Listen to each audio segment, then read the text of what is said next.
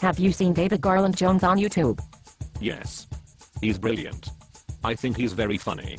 His optimism is often touching as everything he tries to do seems doomed to failure. I think so too.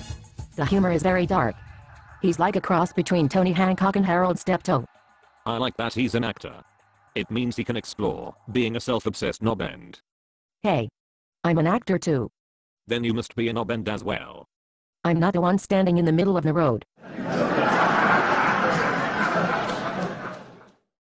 Now he's standing on a bench. That is much more sensible. Thank you. I have seen the error of my ways. Did you know that David Garland Jones now has a website? No. I did not know that. Please tell me more. It's www.davidgarlandjones.com. You can buy t-shirts and stuff there. That is the best news I've ever heard in my life. You are so dramatic. Bravo.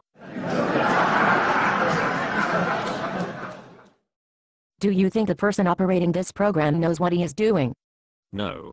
My guess is that he's totally clueless. Fuck. Do you want to get a coffee or something? Sounds great, but that is probably way beyond the dickhead operating this program. You are right. For kitty fuck. Maybe when he learns how to work this, we can have more fun. Agreed. Then he will delete this one as it's embarrassingly bad. Shall we try and walk away? We could try.